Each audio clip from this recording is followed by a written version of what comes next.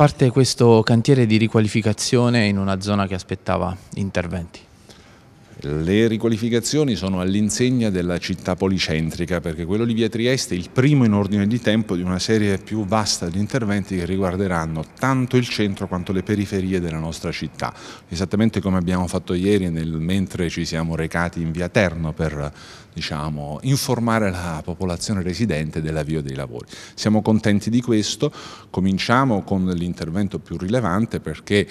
eh, l'intervento riguarderà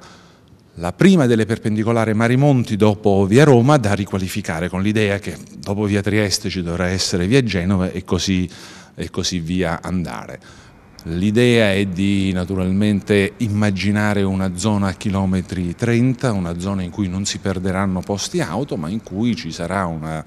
complessiva riqualificazione del marciapiede della sede viaria, immaginando, ma questo lo si vedrà a lavori terminati, anche differente, diciamo, differenti colori per i differenti usi, dal transito delle automobili, al transito dei pedoni, alle aree di sosta per le automobili stesse. Insomma, Pescara si fa bella.